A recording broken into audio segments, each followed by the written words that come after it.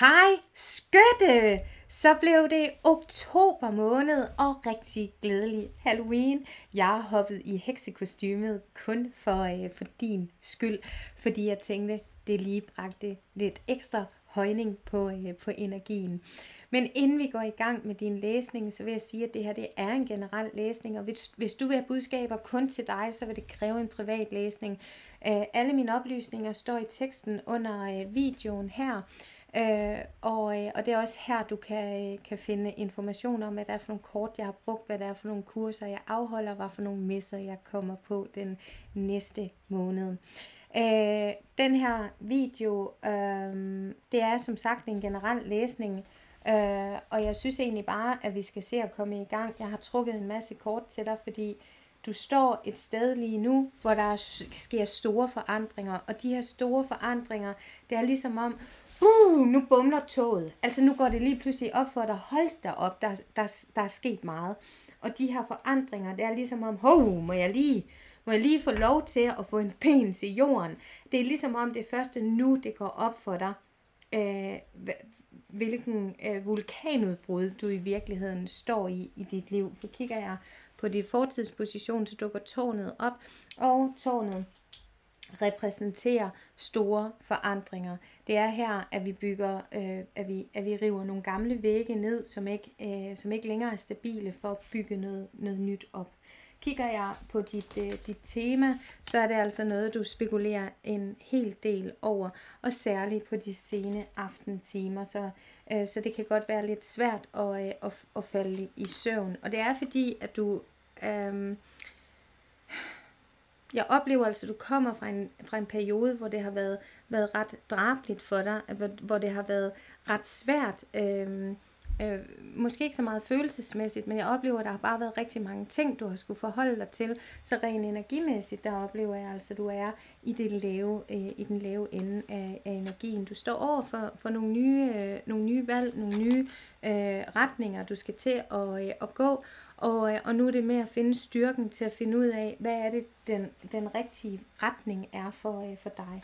Kigger jeg på dit underbevidsthedsplan, så ser jeg altså en del øh, følelser fra fortiden lidt kommer til at vælte op igen. De syv svær repræsenterer altså også det her med at blive bedraget eller at bedrage sig selv. Så pas på, at du ikke render rundt med skyklapper og... Øh, øh, og tror, at, øh, øh, at, at alt er perfekt, og der øh, at, at, at, at du er på vej mod, øh, mod lykkens rus. Øh, jeg ser, at tingene er, er ved at blive væsentligt forbedret i dit liv, øh, og jeg ser nogle helt grundlæggende ting, som, øh, som er ved at forbedre sig, men jeg, men jeg oplever også i den her øh, kontekst i, at, at der er dit liv nu, og så er der det liv, som du kommer fra, og det er ligesom om, den, den her krisetilstand i alt det nye, du er på vej hen imod, det skal, din, det skal dit system lige lære at navigere i. Og det er altså lidt, uh, det er lidt følelsesladet lige nu, men, men vid, at det kun er en proces. Det, det er kun en proces, og det her, det var ikke ved. Jeg, jeg ser altså, det er slut inden måneden er om, og det vil være forskelligt for alle. Det er en generel læsning. Men, men, men spørger jeg ind til de syv... Øh, de syv svær, så får du altså Stavnes øh, page, og Stavnes page, han er på vej fremad, han er på vej ind mod fremtiden. Han, han er virkelig ved at finde styrken og poweren, øh, også i alt det lort fra fortiden, som i virkeligheden kan hjælpe med at motivere i fremtiden, som, som kan finde, som kan gøre, som kan gøre dig stærk. Så det er, øh, der er virkelig øh, tale om en, en stærk proces her. Lige nu, der er det bare som om, at du lidt står i den her situation, hvor du lidt græder over spildt mælk, du græder lidt over, hvad der er sket tidligere i dit liv. Du kan ikke bruge en skid til, hvad, altså slut fred med din fortid. Øhm, et, et, det, det, der, altså, det, der er sket over for dig, det kan, ikke, det kan ikke ændres. Men din indstilling til det, du har udsat dig selv for, eller du har tilladt andre at udsætte dig for, eller det, der er blevet gjort over for dig tidligere. Den indstilling kan du ændre på. Og når du ændrer den indstilling og finder styrken, selv om det var svært dengang, så er det, du vinder. Og det er den proces. Det er den proces tårnet repræsenterer. Så det er bare for at sætte nogle andre ord på. Det er tid til at observere, det er ikke tid til at sige en hel masse. Og snakke en hel masse. Jeg, jeg oplever, at snakken har været, været sket. Øh, Sværens page, han ligger på din fremtidsposition, og det taler altså om, at du, du er altså ved at se tingene i et større perspektiv, og det giver dig altså noget, noget fred, men det er også i den forbindelse, der skal tages de her beslutninger. Når nu jeg går ind og kigger på, hvad bør du være særlig opmærksom på, kan jeg skytte, jamen så øh, i hvert fald her i oktober måned, så bør du være opmærksom på din sårbarhed. Og det er okay at være i din sårbarhed, og det er okay at føle den her smerte, også selvom at, at, at det måske ikke har en pind med din nuværende situation at gøre, men, der, men, men, men det er altså i, øh, i smerten, i sorgen og i accepten i, at jeg kan ikke ændre det, der, det, der er sket tidligere, men jeg kan ændre min, min måde at anskue det, der er sket tidligere i mit liv. Øh, det kan jeg ændre på. Fordi hermed genfinder du din styrke og din, din power. The Empress, hun bliver og hun tør at se sig selv i spejlet, også der, hvor, hvor skoen den kniver, og hvor, hvor det sviger, altså, og hvor det brænder, og hvor det gør lidt, lidt afs. Men det er også det, der gør hende så stærk, fordi hun tør at se hendes skrøbelighed i øjnene. Og det ser jeg altså også, du kommer til her i, øh, i oktober måned, kan jeg skytte. Men det bringer dig bare så meget nyt perspektiv. Prøv at se den blomst, der bare springer op fra det midterste bære. Altså, det bringer dig så meget vækst, så meget positivitet, og det er næsten som om, at det giver dig vinger. Men, men, men overgangen i at give slip, øh, det er den, der er svær. Og det er den, jeg ser, du kommer til at kæmpe lidt med her. Kæmpe lidt, lidt med her i oktober måned.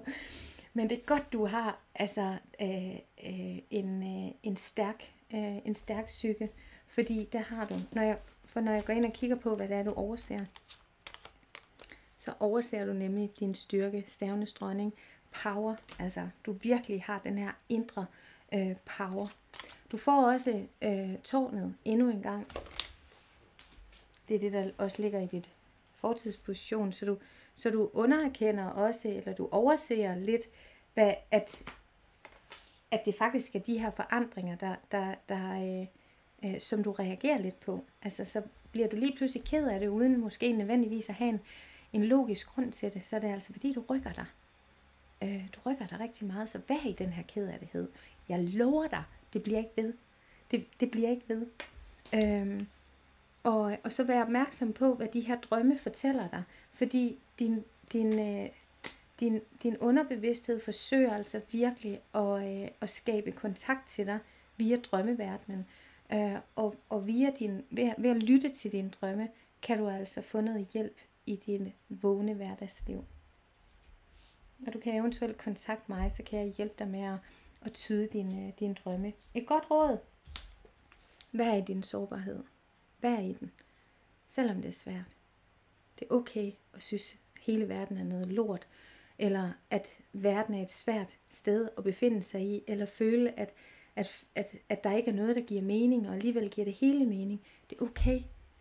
Det er okay lige at ligge sig ned et øjeblik og synes, det hele er noget fucking shit, så længe du rejser dig igen. Og det gør du. Det gør du, skytte. Fordi hvis, hvis der er noget, jeg ved, fordi min mor, hun er skytte, så jeg ved også, hvilken badass, der ligger i jeres skytter. Du skal nok rejse dig op igen. Men vid, at det er okay. Det er okay lige at tage en, en pause. Og lige få tudet lidt og få, få grædt lidt. Og måske det er på tide, i stedet for at være alene med den her sorg og smerte, at du delte den med en, der var der nær. En god ven. Din partner. En kollega eller en bedsteforælder, eller noget helt andet. Og det er okay at være i den her erkendelse af, at, at du måske ikke har alt det, som du gerne vil have rent økonomisk. Men velvidende, at du er på vej. Du er på vej mod succes.